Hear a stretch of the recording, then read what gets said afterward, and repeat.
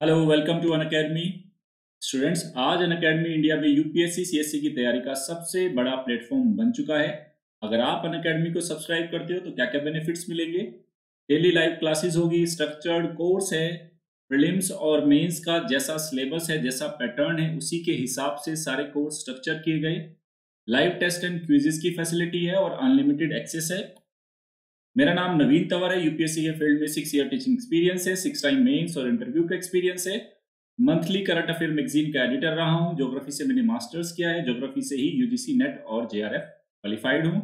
अगर आप मेरी क्लासेस के पीडीएफ चाहते हैं और आप अपकमिंग क्लासेस का शेड्यूल चाहते हैं तो Unacademy under Naveen Tanwar, ये टेलीग्राम चैनल का लिंक है। उसके साथ ही आप अन अकेडमी लर्निंग ऐप पे मेरे बहुत सारे कोर्सेज देख सकते हैं। अन अकेडमी डॉट कॉम पर जाके नवीन तंवर के नाम से मेरी प्रोफ़ाइल को सर्च कीजिए और कोर्सेज देखना शुरू कीजिए। मेरे साथ साथ अन अकेडमी पे आपको इंडिया के 100 प्लस टॉप एडुकेटर से पढ़ने का मौका मिलेगा। कॉम्प्रिहेंसिवली सारे सिलेबस को यहाँ पे हमने कवर किया है। अन अकेडमी पे प्लस और आइकॉनिक दो ऑप्शन है जिससे आप सब्सक्राइब कर सकते हो। प्लस एक महीने से लेके तीन साल तक का ऑप्शन आपके साथ। उसके साथ उसमें आप साल भर के लिए forty nine thousand five hundred fees है। दो साल के लिए भी कर सकते हो, तीन साल के लिए भी कर सकते हो। टेन परसेंट का डिस्काउंट मिलेगा अगर referral code Naveen one use करते हो। सेकंड आइकॉनिक है। यहाँ आपको कोच मिलता है आंसर राइटिंग सेशन होता है स्टडी प्लान्स होंगे पर्सनल फीडबैक मिलेगा। ये एक साल, दो साल, तीन साल का ऑप्शन है। टेन परसेंट का डिस्काउंट यहाँ पे भी मिलेगा अगर referral code Naveen one apply करते हैं। आप अपना ऑप्शनल सब्जेक्ट भी अनकेडमी से तैयार कर सकते हैं, एक महीने से लेके। तीन साल का ऑप्शन है आपके पास मिनिमम वन ईयर का सब्सक्रिप्शन लेना आप। टेन परसेंट का डिस्काउंट यहाँ भी है अगर referral code Naveen one use करते हैं। उसके साथ ही स्टूडेंट्स 2021, 22 और 23 के प्रीलिम्स को लेके बहुत सारे बैचेस लॉन्च कर चुका है अन अकेडमी जिसमें प्रीलिम्स मेंस सबको इंटीग्रेटेड फॉर्म में तैयार किया जाएगा। दो तो जो 2021 का प्रीलिम्स है उसको लेके सिक्स मंथ के बैच लॉन्च हो चुके। बहुत सारे हो चुके हैं और आने वाले और भी लॉन्च होंगे। जैसे 11 जनवरी से नए बैचेस लॉन्च होने वाले हैं। तो 2021 के लिए भी है 2022 के लिए और 2023 के लिए 11 जनवरी से बहुत सारे बैच लॉन्च हो रहे हैं। Hindi medium English medium bilingual okay उसके साथ ही अगर आप अन अकेडमी को सब्सक्राइब करना चाह रहे हो तो आपके पास अन अकेडमी एक ऑफ़र लेके आया है। आप अपने यूपीएससी जीएस को और ऑप्शनल सब्जेक्ट को एक साथ, एक कॉम्बिनेशन में कॉम्बो पैक आया है जिसमें आपको काफ़ी अच्छा डिस्काउंट मिल रहा है। तो ये one year two year three year का ऑप्शन है आपके पास। आपको ऑलरेडी कॉम्बो पैक में डिस्काउंट मिलेगा, लेकिन अगर आप रेफरल कोड नवीन वन को यूज़ करते हैं तो टेन परसेंट एक्स्ट्रा और डिस्काउंट मिलेगा आपको। आइकॉनिक के प्राइस सी बहुत जल्दी ही हाइक होने वाले हैं तो जो बच्चे प्लानिंग कर रहे हैं, वो इसको सब्सक्राइब कर सकते हैं। बस ध्यान रखना कि टेन परसेंट डिस्काउंट चाहिए और मेरी मेंटरशिप चाहिए तो रेफरल कोड है नवीन वन।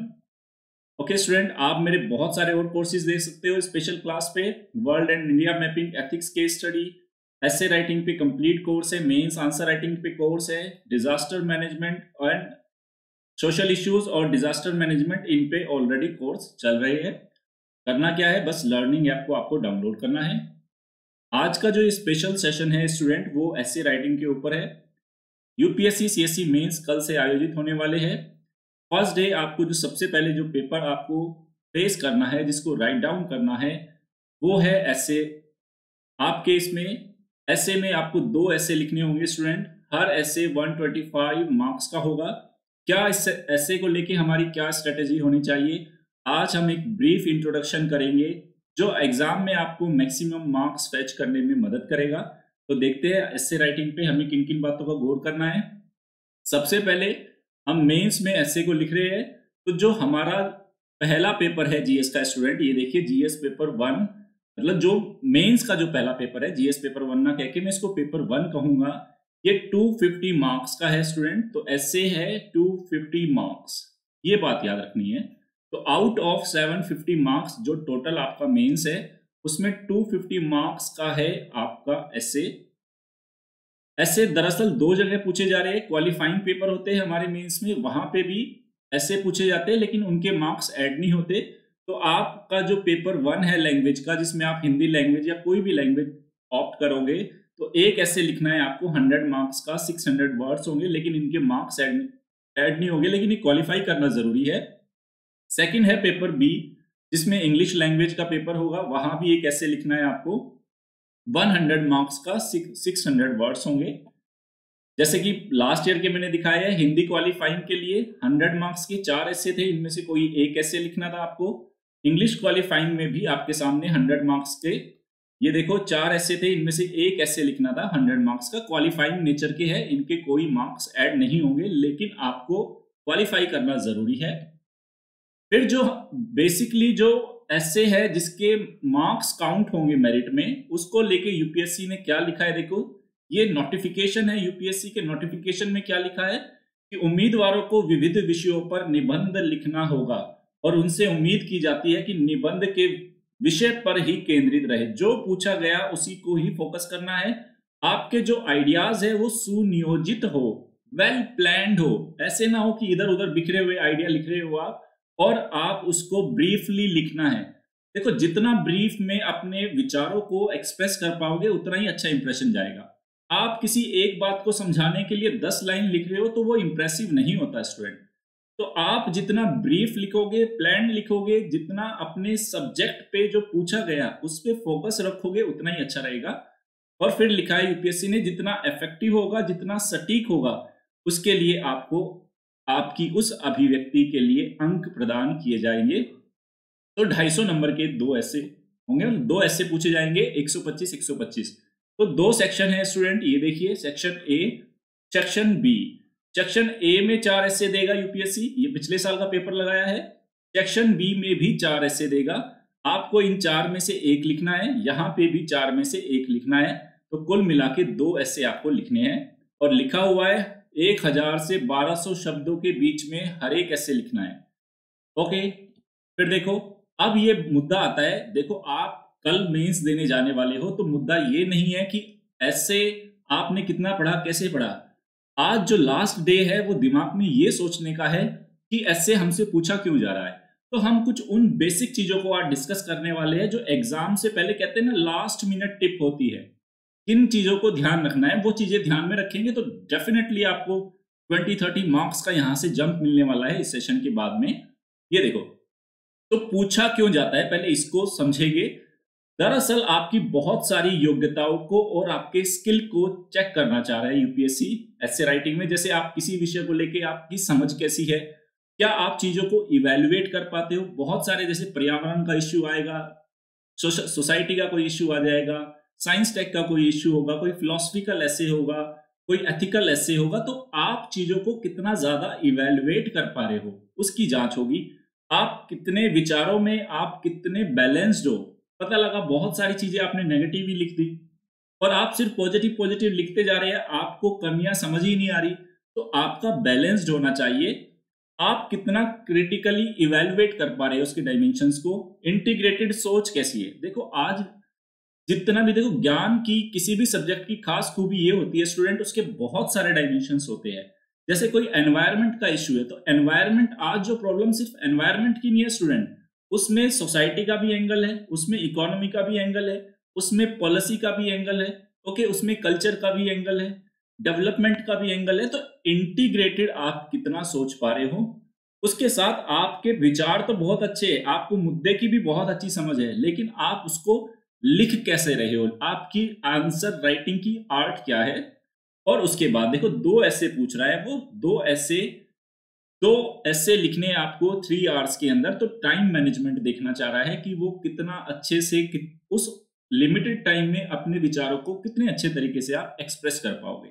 ओके फिर देखो अब एक अच्छा आंसर या एक अच्छा ऐसे आप लिखोगे कैसे? आपको किन सारी चीज़ों को ध्यान रखनी होगी? तो जो भी विषय पूछा जाएगा, उस पर आपकी जो समझ है, बहुत डेप्थ होनी चाहिए। ज्ञान की ज़रूरत है, ना कि सतही देखो, अगर आपने सपोज़ करो एनवायरनमेंट के ऊपर ऐसे आ गया और आप बड़ा सुपरफिशियली सतही ऐसे लिख के आ रहे हो तो अच्छे मार्क्स नहीं मिलेंगे। उस मुद्दे की जितनी इन डेप्थ हो सकती है एनवायरनमेंट को लेके जो एक एवोल्यूशन है दुनिया भर में, राष्ट्रों ने अंतर्राष्ट्रीय स्तर पे क्या क्या प्रयास किए गए क्या मुद्दे संबंधित है एनवायरमेंट से जुड़े हुए? उन पे एक इन डेप्थ एनालिसिस आपके पास होना चाहिए। उसको अगर आपके पास किसी भी सब्जेक्ट पे जो ऐसे में पूछा जा रहा है, अगर आपके पास कोई पर्सनल एक्सपीरियंस है, उसको भी शेयर कर सकते हैं। निबंध का जो स्ट्रक्चर है मतलब आप इंट्रो लिखोगे मेन बॉडी में बहुत सारे पैराग्राफ होंगे, क्या उसके वो स्पष्ट है? लयबद्धता है, यानी कि उसमें फ्लो होना चाहिए। पिछला पैराग्राफ नेक्स्ट पैराग्राफ से हर पैराग्राफ आपस में इंटरकनेक्टेड हो, ना कि इधर उधर बिखरा हुआ होना चाहिए, ये ध्यान रखेंगे। और केवल वही इंफॉर्मेशन डालनी है जो ज़्यादा ज़रूरी है। बहुत ज़्यादा फैक्चुअल इंफॉर्मेशन और डेटा आपको नहीं डालना। मतलब फैक्चुअल इंफॉर्मेशन नहीं डालनी, ना बहुत सारे डेटा आपको यूज़ करने हैं। उसके बाद, हर पैराग्राफ के बाद, देखो ऐसे में कई बार क्या होता है, क्योंकि आपको हज़ार से बारह शब्द लिखने हैं स्टूडेंट तो कई बार ऐसे हम भूल जाते हैं। आपने दो तीन पेज पढ़े, आप जो मेन जो सेंट्रल थीम था, जो एग्ज़ाम जो ऐसे में आपसे पूछा गया, अगर आप उससे भटक गए तो पूरा ऐसे बिखर जाएगा। तो कोशिश करना कि हर एक दो पैराग्राफ के बाद आप निबंध में क्या पूछा गया उस टॉपिक को बार बार पढ़ते रहे, ताकि आप भटके ना अपने ऐसे से। अच्छी लैंग्वेज यूज़ करें, बिल्कुल सिंपल स्पष्ट लैंग्वेज यूज़ करना, लेकिन बहुत ज़्यादा अनौपचारिक मत हो जाना। मतलब फॉर्मल लैंग्वेज को छोड़ना नहीं है। पता चले आप अपनी रीजनल टच का या बिल्कुल आपकी लोकल लैंग्वेज का यूज़ कर रहे हैं, वो बिल्कुल नहीं चलेगा। सरल हो, स्पष्ट हो, लेकिन अनौपचारिक नहीं होनी चाहिए। इनफॉर्मल बहुत ज़्यादा ना हो, एक फॉर्मल लैंग्वेज हो सिंपल सरल हो। बहुत ज़्यादा कहावतें, कथनों का प्रयोग ना करें। कई बार सोचते हैं, बहुत ज़्यादा कोटेशंस डालनी है, नहीं। लिमिटेड कोटेशन दो, तीन, चार कोटेशन डालो, उससे ज़्यादा नहीं। कुछ बच्चे क्या करते हैं, हर पैराग्राफ के बाद एक कोटेशन हर पैराग्राफ के बाद एक कोटेशन तो वो इरिटेट करने लगती है। और जितने भी डायमेंशन हो किसी भी टॉपिक के, उसके social cultural economic political environmental जितने भी डायमेंशन हो, कोशिश करना सब टच कर पाओ। और सबसे बड़ी बात, आपको ज़्यादा से ज़्यादा इफ़ेक्टिव आपका ऐसे होना चाहिए। अब कुछ बच्चों के मन में ही रहता है कि, सर, क्या करें? इंट्रोडक्शन कितने वर्ड्स का होना चाहिए? मेन बॉडी कितने वर्ड्स की? या होनी चाहिए? या कंक्लूजन में हम कैसे करें? तो तीन पार्ट होते हैं हमारे ऐसे के। फ़र्स्ट हो गया हमारा इंट्रोडक्शन फिर मेन बॉडी और फिर हो गया कंक्लूजन तो जितनी भी हमारी वर्ड लिमिट है, जैसे एक ऐसे की एक हज़ार से बारह सौ है। तो जब भी आप इंट्रोडक्शन लिखो तो याद रखना इंट्रोडक्शन में ट्वेंटी परसेंट ही शब्द लिखने हैं आपको, यानी कि 200 के आसपास आपको शब्द यूज़ करने हैं। मेन बॉडी में आपको 60 से 70 और जो कंक्लूजन में है 15 से 20 परसेंट शब्द यूज़ करने हैं। इंट्रो में क्या डालोगे? किस तरह से इंट्रो लिख सकते हो? वो आगे आने वाली स्लाइड में देखेंगे हम। वैसे यहाँ मैंने बताया, कोई एक फिक्स पैटर्न तो है नहीं हमारा इंट्रोडक्शन लिखने का। कई बार इंट्रोडक्शन में कोई क्वेश्चन उठा सकते हो आप। इस कई बार कोई कथन मुहावरे का इस्तेमाल कर सकते हो। कई बार कोई शॉर्ट स्टोरी है आपके पास, वो देख सकते हो। कई बार दो देशों की, तीन देशों की तुलना कर सकते हो। सपोज़ करो, कोई पर्यावरण का मुद्दा आ गया। ओके या कोई किसान आंदोलन से जुड़ा कोई मुद्दा आ गया वीमेन से जुड़ा कोई मुद्दा आ गया चाइल्ड लेबर का मुद्दा आ गया तो वहाँ पे अगर कोई छोटी कहानी बना के आप शुरुआत कर सकते हो तो बहुत अच्छा इंप्रेशन जाएगा। कई बार क्या होता है, आप क्वेश्चन को उठा सकते हो। जैसे पर्यावरण चुनौती को लेके कोई मुद्दा आ गया जलवायु परिवर्तन की समस्या को लेके तो वहाँ पे बहुत सारे क्वेश्चन उठा सकते हो कि कब तक विकास की उस रास्ते पे चलेंगे, जिससे कि एक तरफ़ तो पर्यावरण का क्षरण हो रहा है और दूसरी तरफ़ विकास इसमें से किसको चुने, क्यों चुने, क्या ज़्यादा ज़रूरी है? तो इस टाइप के क्वेश्चन आप उठा सकते हो, वहाँ पे कोई स्टोरी लिख सकते हो। ओके जैसे कोई कथन या मुहावरा इस्तेमाल कर सकते हो, आपके पास कोई शुरुआत में ही बहुत अच्छी आपने कोटे वीमेन एम्पावरमेंट के ऊपर सपोज़ कोई ऐसे आ गया तो वीमेन के ऊपर बहुत सारी कविताएँ हैं, उसमें से कुछ आपके पास चार लाइन, पाँच लाइन अच्छी है तो उनको लिख सकते हो आप। ओके किसी कवि की कोई पंक्तियाँ है, वो लिख सकते हो। तो प्रस्तावना में कभी भी बस एक चीज़ का ध्यान देना कि आपको स्टैंड नहीं लेना। जैसे सपोज़ करो कि अगर ये ऐसे आता है कि क्या भारतीय जो किसान है या आजीविका के लिए या उनको जिस तरह का स्ट्रगल है क्या वो करते ही रहेंगे? तो इंट्रोडक्शन में कोशिश करना कि ऐसा ना हो कि हाँ वो करते ही रहेंगे या ना बोल दो कि आ हाँ, नहीं वो ऐसे तरसते नहीं रहेंगे आजीविका के लिए। तो कभी भी आपको स्टैंड नहीं लेना। जैसे एक ऐसे था 2017 में कि अधिकतर किसानों के लिए भारत में जो कृषि है, आजीविका का एक सतत स्रोत नहीं रह गई है। तो इंट्रोडक्शन में आप एग्रीकल्चर को डिफाइन करो, लेकिन ये मत बोलो, जो स्टेटमेंट जो आपका सब्जेक्ट या स्टेटमेंट दिया गया है एसए के अंदर, या जो भी सब्जेक्ट है। जैसे हमने बोला, अधिकांश किसानों के लिए कृषि, अधिकांश किसानों के लिए के लिए कृषि जीवन निर्वाह का स्रोत नहीं है। जीवन निर्वाह का सक्षम स्रोत नहीं है। तो देखो, ये आपका ऐसे हो गया, लेकिन आपको ध्यान क्या रखना है? आपको इंट्रोडक्शन यानी कि पहले जो डेढ़ सौ, दो सौ शब्द है, आपको ये नहीं बताना एग्जामिनर को कि हाँ वो श्रोत्र है या वो नहीं है। आपको ऐसे खोलना है स्टूडेंट अगर आपने शुरुआत में ही ये बता दिया, पहले डेढ़ सौ शब्द में कि हाँ या ना तो उसको मज़ा नहीं आएगा देखो पढ़ने में। तो स्टैंड नहीं लेना कभी भी आपको इंट्रोडक्शन के अंदर, पहली बार फिर मेन बॉडी में 60 से 70 परसेंट आएगा। फिर जो निष्कर्ष लिखोगे, बस ध्यान रखना, एक तो पॉजिटिव होना चाहिए और दूसरा थोड़ा वो प्रैक्टिकल सॉल्यूशन होने चाहिए उसके अंदर। जैसे और फिर कुछ प्रश्न उठते हैं, जैसे निबंध लिखते टाइम ऐसे लिखते टाइम आप में से जो बच्चे पहली बार या दूसरी बार लिख रहे होंगे, बहुत सारे क्वेश्चन मन में आते हैं। पहला क्वेश्चन है, क्या प्रस्तावना या निष्कर्ष नाम की हेडिंग लिखनी है क्या? भाई, शुरुआत में एक जब आप ऐसे शुरू करोगे तो वहाँ आप ये हेडिंग लिखोगे क्या? प्रस्तावना और फिर लिखना शुरू कर रहे हो। और जब लास्ट में कंक्लूजन करोगे तो फिर निष्कर्ष लिख के फिर आप लिख रहे हो, नहीं, ये नहीं लिखना। उत्तर है, नहीं।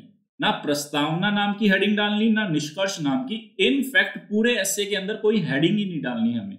दूसरा, क्या निबंध को अंडरलाइन कर सकते हैं? डेफिनेटली केवल 10 से 15 प्रतिशत भाग ही करना है। क्या कोटेशन लिख सकते हैं? लिखो लिमिटेड लिखो, लेकिन जब भी कोटेशन लिखो इन्वर्टेड कोमाज में लिखनी है। फिर क्या कुछ बच्चे सोचते हैं? डायग्राम बना सकते हैं, क्या पॉइंट फॉर्म में लिख सकते हैं, क्या कोई डाटा डाल सकते हैं? देखो, मैं ये कहूँगा कि जो आप डायग्राम पॉइंट या डेटा पॉइंट तो डेफिनेटली बिल्कुल नहीं डालना लिमिटेड डेटा का यूज़ कर सकते हैं और डायग्राम का अपना एक रिस्क होता है। तो प्रैक्टिकली अगर मैं कहूँ तो बहुत ज़्यादा रिस्की है ये। अगर आपको लगता है उस विषय पे आपकी बहुत ही शानदार पकड़ है, आप बहुत सारे डायमेंशन खोल सकते हैं, आपके पास बहुत शानदार फ्लो वाला कोई ऐसा कोई डेटाज है या कोई आपके पास डायग्राम है, वो डाल सकते हो, लेकिन पॉइंट तो डेफिनेटली बिल्कुल यूज़ नहीं करेंगे। कुछ बच्चे बोलेंगे, ऐसे पॉइंट फॉर्म में ऐसे लिख रहे हैं। ये भैया बिल्कुल एक्सेप्टेबल नहीं है। तो हाँ लिमिटेड फॉर्म में हम डायग्राम का इस्तेमाल कर सकते हैं, लेकिन बहुत सीमित रूप से करना है, क्योंकि ये ऐसे का पेपर है, कोई स्टैटिस्टिक्स का या ज्योग्राफी का या कोई डायग्राम या डेटा का पेपर नहीं है। ऐसे है ऐसे के रूप में ही लिखना है। अब बहुत सारे बच्चों को डर लग रहा होगा लास्ट मिनट है, मैंने तो साल भर GS paper one two three पढ़ा है और अपना ऑप्शनल तैयार किया है। ऐसे तो मैंने कभी तैयार किया ही नहीं। दरअसल मैं आपको बता देता हूँ, जब आप GS paper one two three four पढ़ रहे होते हैं और अपना ऑप्शनल पढ़ रहे होते हैं तो पैरेलल आपका निबंध भी तैयार हो रहा होता है। क्योंकि जो निबंध के टॉपिक होंगे, या तो हिस्ट्री से होगा geography polity economy environment social issues होंगे internal security disaster management ethics होगा। तो ये सारे GS paper one two three four में आपने पढ़े हैं, इसलिए घबराने की बिल्कुल ज़रूरत नहीं है। आप बस बिल्कुल प्रिपेयर्ड है रेडी है, बस थोड़ा सा फॉर्मेटिंग करने की ज़रूरत है। साल, दो साल आपने न्यूज़पेपर पढ़ा है, वो आपकी तैयारी हो रही है। बस करना क्या है? सोचना है और थोड़ा सा विश्लेषण करना है कि चीज़ें किस तरीके से हो रही है। ओके? अंत में जो आपको ध्यान रखना है कि निबंध आपके व्यक्तित्व का परीक्षण है।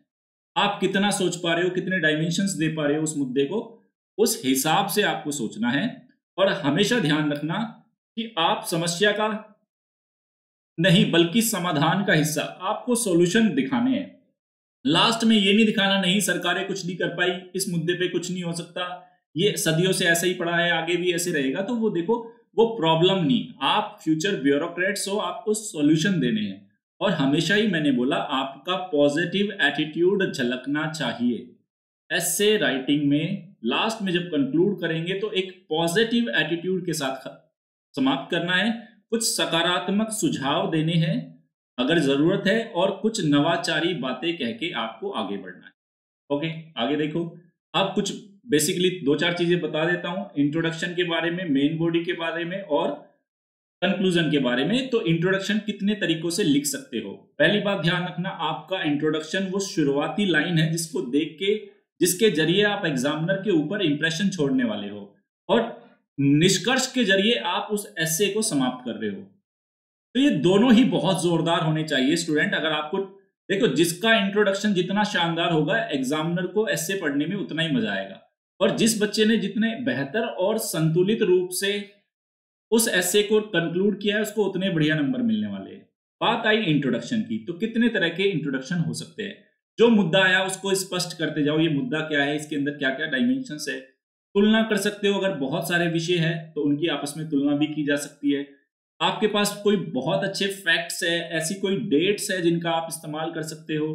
भाई, जैसे आप बोल सकते हो कि सत, जो आप बोल सकते हो पंद्रह अगस्त उन्नीस वो तिथि थी जब आज़ाद भारत ने अपने कुछ नए सपने देखे थे। तो ये अगर ऐसी कोई डेट है साइंस टेक्नोलॉजी की अगर आपके पास कोई ऐसी डेट है जहाँ पे इंडिया में आप ये देख सको कि वहाँ से इंडिया का स्पेस प्रोग्राम शुरू हुआ तो स्पेस प्रोग्राम की कोई डेट्स आपने याद रख ली। आपके पास कोई रिपोर्ट है, कोई इंडेक्स है, जहाँ पे आपके पास बहुत अच्छा फैक्ट है, कोई डेटा है, उसको यूज़ करके आप आगे बढ़ सकते हो। फिर कुछ प्रश्न खड़ा करने वाली भूमिका है। सपोज़ करो वीमेन का कोई इश्यू हो गया, बाल श्रम का मुद्दा हो गया, कोई सामाजिक समस्या है तो वहाँ आप प्रश्न खड़ा कर सकते हो कि आखिर कब तक ये समस्याएँ चलती रहेगी? उस तरीके से कोई शॉर्ट स्टोरी बनाओ, मुहावरा कविता पक्तियाँ इनका आप इस्तेमाल कर सकते हो।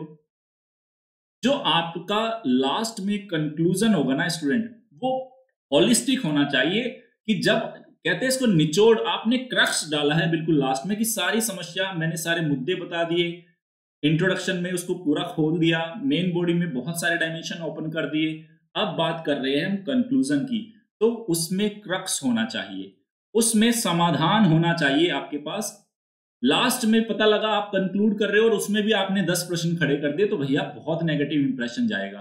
तो समाधान मूलक निष्कर्ष हो, और विशेषकर कब अगर कोई प्रॉब्लम है सपोज़ करो वीमेन के ऊपर कोई ऐसे आया ओके एनवायरमेंट की या क्लाइमेट चेंज के ऊपर कोई ऐसे आ गया। तो आपने क्या करना है लास्ट में अगर ऐसे ऐसे है तो आपको सॉल्यूशन देना है। और फिर चुनौती देने वाला निष्कर्ष होता है। सपोज़ करो किसी समस्या है। समस्या वाले निबंध में हमें बताना होगा कि अगर हमने समस्या नहीं, इसको समाधान नहीं किया तो इसके गंभीर परिणाम आ सकते हैं। तो समय रहते हम इसके लिए ये कदम उठा सकते हैं। सरकार इतना कर चुकी है, इतना और करना बाकी है तो उस टाइप से आप यूज़ कर सकते हो। अब एक प्रश्न जो बच्चों के मन में उठता है, वो प्रश्न ये होता है स्टूडेंट कि किस तरह का ऐसे आए? देखो, बहुत तरह के ऐसे होते हैं। कुछ ऐसे होते हैं फिलोसॉफिकल ओके फिलोसॉफिकल ऐसे होंगे कुछ होंगे आपके एथिकल ऐसे होंगे और कुछ आपके जीएस टाइप के ऐसे होंगे। तो मैं हमेशा यही रिकमेंड करता हूँ, बहुत अच्छे नंबर मिलते हैं जो एथिकल एसेज है। मतलब अगर आपने एथिक्स बहुत अच्छे से पढ़ा हुआ है तो बहुत अच्छे मार्क्स मिलेंगे। जीएस वाले जो जीएस के सिंपल पेपर होते हैं, कोई इकोनॉमी का मुद्दा आ गया साइंस टेक का आ गया, वहाँ पे भी आपको अच्छा ऐसे मिलेगा। बस फिलोसफिकल ऐसे तभी पकड़ना है स्टूडेंट अगर आपको लगता है कि आप फिलोसफिकल ऐसे को डील कर सकते हो। जैसे मैंने आपको एक ऐसे कराया था, अगर आपको याद हो, बहुत सारे बच्चों ने स्पेशल क्लास में देखा है कि जैसे मैंने लिखा, एक ऐसे था, महिमा की राहें मृत्यु तक जाती है। मृत्यु तक जाती है। अब ये देखो यार, अब यहाँ थोड़ा फिलोसफिकल हो गया। पहली बात तो ये महिमा क्या है? राहे क्या है? मृत्यु तक जाती है।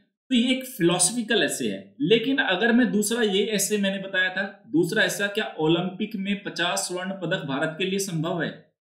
अगर एक ऐसे मैंने लिखा, क्या ओलंपिक में पचास स्वर्ण पदक संभव है भारत के लिए?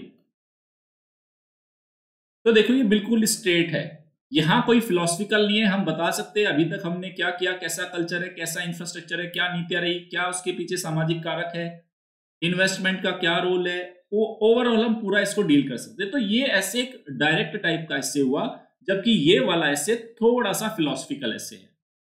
ओके लेकिन कुछ ऐसे जैसे एथिकल होते हैं कि आप जैसा सोचते हो वैसा बन जाते हो। तो ये क्या है? ये एथिक्स जिसने बहुत अच्छा पढ़ा है, वो देख सकता है। एथिक्स के अंदर वैल्यूज़ है हमारे एटीट्यूड वाला है, या एटीट्यूड चेंज पे कोई ऐसे आ गया एथिकल एसेज पे इन दिनों बहुत अच्छे नंबर आ रहे हैं। तो अगर आप एथिकल एसेज में कंफर्टेबल हो तो बहुत अच्छी प्रायोरिटी देना। जीएस वाले स्ट्रेट ऐसे है, उनमें भी देखो स्कोप हर जगह है। थोड़ा सा जो रिस्की वाला पार्ट है, वो फिलोसफिकल है। तो मैं यही कहूँगा, आप फिलोसफिकल ऐसे वो ही बच्चा हैंडल करे, वो ही लिखे जिसको पता है कि हाँ मैं फिलोसफिकल उन चीज़ों को समझ पाता हूँ। तो आप अगर देखना, पिछले दस सालों के क्वेश्चन देखना, आज रात को कुछ नहीं करना। आप एक बार पिछले पाँच छह सालों के क्वेश्चन देखना, आप ये देख लेना कि आप किस टाइप के एसेज को लिखने में ज़्यादा कंफर्टेबल फील कर पा रहे हो। ये डिसीज़न वहाँ पे नहीं लेना आपको लास्ट मोमेंट पे। और दूसरी बात मैं आपको बता देता हूँ चलते चलते लास्ट टाइम पे, कि जो आपका कॉपी होगी, जिसमें आप पेपर लिखोगे अपना एसए का, उसमें लास्ट के दो तीन पेज रफ होते हैं स्टूडेंट एक बार फॉर्मेटिंग कर लेना। भाई सेक्शन ए में चार ऐसे है। एक, दो, तीन, चार। और बी में भी एक, दो, तीन, चार। एक, दो, तीन, चार। तो आपको क्या करना है? शुरुआत में ही कोशिश करना। पहले पंद्रह से बीस मिनट या आधे घंटे में दोनों एसए की फॉर्मेटिंग कर लेना। फॉर्मेटिंग मतलब एक मोटा मोटा स्ट्रक्चर बना लेना कि इस वाले एसए का मैं इंट्रोडक्शन क्या लिखूँगा? या इसके पास मेरे पास मेन बॉडी में कौन कौन से डायमेंशन है? कितने डायमेंशन में ओपन कर पा रहा हूँ? कंक्लूजन के लिए अगर आपके पास कोई अच्छी लाइंस है, या आपको कोई पंच लाइन याद आ रही है तो एक बार लास्ट में लिख के रख लेना student same essay too जो बी सेक्शन से एस ए लिखोगे, उसके लिए भी उसका इंट्रो उसकी मेन बॉडी और उसका कंक्लूजन आप पहले से ही लिख के तैयार रखें, ताकि प्रेशर में ना आए। अच्छी पंच लाइन है, वो लिख के साथ के साथ रखते रहे। और बाद में कोशिश करना कि दोनों एसे का, क्योंकि इंट्रोडक्शन सबसे ज़्यादा इंपैक्टफुल होने वाला है तो एक बार रफ पेज पे ही आप दोनों ऐसे का इंट्रोडक्शन लिख के रख ले। ओके इंट्रोडक्शन पहले ही लिख के रख ले। मतलब ये इंट्रोडक्शन पहले लिखना है मेन बॉडी के जितने डायमेंशन है, सब ओपन कर लेना। कंक्लूजन में क्या लिखने वाले हो? वो लाइन लेंथ कोई आपको कोटेशन याद आ रही है, कोई कविता की दो तीन लाइन याद आ रही है, कोई एग्ज़ाम्पल याद आ रहा है, कोई डेटा याद आ रहा है तो उसको लास्ट में रफ पेज पे ही करके रखना है। और याद रखे, जब रफ पेज पे काम हो जाए तो उसको बाद में क्रॉस कर देना है लास्ट में। कि वो आपका रफ वर्क था। ओके? बस कुछ जाते जाते कुछ इंपॉर्टेंट शब्द है जो मैं बताना चाहता हूँ, जिनका आप प्रस्तावना में मेन बॉडी में या निष्कर्ष में इस्तेमाल कर सकते हो। जैसे कुछ कनेक्टिंग वर्ड होते हैं जो एक एक पैराग्राफ को दूसरे में, एक लाइन के बाद दूसरी लाइन को कैसे शुरू करें, उसके लिए कुछ कनेक्टिंग वर्ड्स है। जैसे, इन दिनों या वर्तमान में, इन दिनों में इस तरह की समस्याएँ पैदा हो रही है। वर्तमान समय में अगर हम देखें तो लेकिन आज आधुनिक समय में हम ये कर सकते हैं, अगर आम शब्दों में कहा जाए, ये वो शब्द है जिनको आप अपनी लैंग्वेज को फ्लो फ्लो में लाने के लिए यूज़ कर सकते हैं। अगर इस स्थिति के संदर्भ में देखें, सबसे पहले तो मैं ये कहूँगा या ये कहूँगी, या सर्वप्रथम हमें उन मुद्दों को उठाना होगा, या हम बोलेंगे जब हम इस मुद्दे के बारे में बात करते हैं तो हमें ये पता होना चाहिए, या उन स्थितियों को ध्यान में रखते हुए इसके मामले में या इस मामले में अभी के लिए तो हम यही कह सकते हैं, या आगे बढ़ने से पहले हमें यह भी सोचना होगा, यह भी ध्यान में रखना होगा।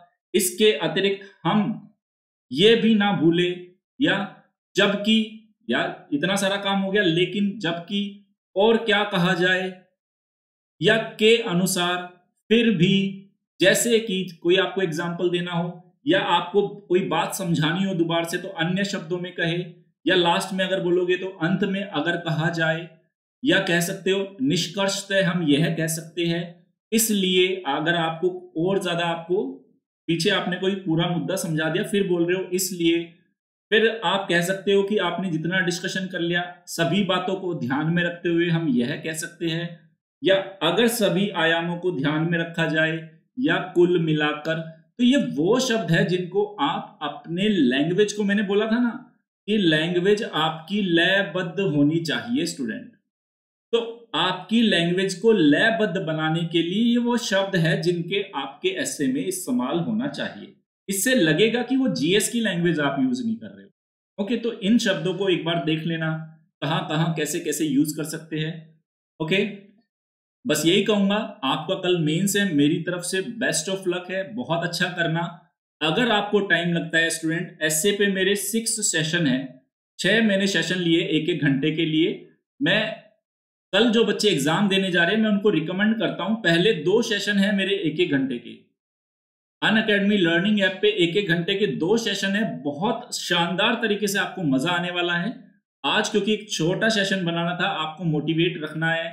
कल ऐसे भी लिखना है तो रात को सोने से पहले अगर आप वे पहले एक दो ऐसे देख पाओ तो उनको देख लेना। अगर आपने वो ऐसे देख लिए तो मैं इतना कह रहा हूँ कि अगर आज आपके ऐसे में 130 नंबर आने वाले हैं तो उन सेशन को देखने के बाद कम से कम आपके 10 से 20 नंबर बढ़ जाएँगे। बस तो ये सेशन देख लेना। एक एक घंटे के सेशन है। अन अकेडमी लर्निंग ऐप पे नवीन तवर सर्च करना और ये सेशन देख लेना। उसी तरह से एथिक्स के ऊपर कंप्लीट कोर्स है केस स्टडीज़ के ऊपर। मेंस की आंसर राइटिंग कैसे आंसर लिखना है? मेंस का वो देख सकते हो एक बार। कुछ रनिंग कोर्स चल रहे हैं मेरे डिजास्टर डिजास्टर मैनेजमेंट और सोशल इश्यूज़ पे, आप वो भी देखते रहना। ओके गुड लक स्टूडेंट्स बस ध्यान रहे, अगर आप अन अकेडमी को सब्सक्राइब करते, दो ऑप्शन है प्लस और आइकॉनिक प्लस एक महीने से लेके तीन साल का है, साल भर मिनिमम सब्सक्राइब कीजिए। टेन परसेंट का डिस्काउंट मिलेगा अगर referral code Naveen one use करते हैं। आइकॉनिक भी एक साल, दो साल, तीन साल का ऑप्शन है, दस प्रतिशत डिस्काउंट मिलेगा अगर referral code Naveen one use करते हैं। आप अपने ऑप्शनल को भी तैयार कर सकते हैं अन अकेडमी पे। एक महीने से लेके तीन साल तक का ऑप्शन है। टेन परसेंट का डिस्काउंट मिलेगा अगर referral code Naveen one use करते हैं। अगर आपको ये सेशन पसंद आया तो लाइक शेयर सब्सक्राइब ज़रूर करना। टेन परसेंट के डिस्काउंट के लिए मेरा रेफरल कोड नवीन वन है। यूज़ करना। Okay student all the best have a nice day thank you